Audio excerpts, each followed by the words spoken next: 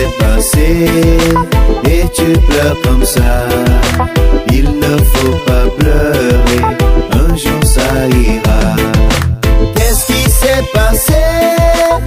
Et tu pleures comme ça?